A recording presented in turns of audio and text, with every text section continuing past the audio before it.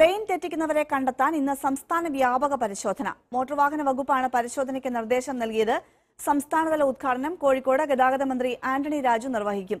തുടർന്ന് എല്ലാ ദേശീയ സംസ്ഥാന പാതകളിലും ഉദ്യോഗസ്ഥർ പരിശോധന നടത്തും. ആദ്യ ദിവസം പ്രധാനമായും ബോധവൽക്കരണമാണ് ലക്ഷ്യമിടുന്നതെങ്കിലും പിഴയും ഈടാക്കാനാണ് തീരുമാനം. വരും ദിവസങ്ങളിലും പരിശോധന തുടരും. ലൈൻ ട്രാഫിക് തെറ്റിക്കുന്നത് ഗതാഗത കുരുക്കിന് കാരണമാകുന്നതായാണ് മോട്ടോർ വാഹന വകുപ്പിന്റെ വിലയിരുത്തൽ.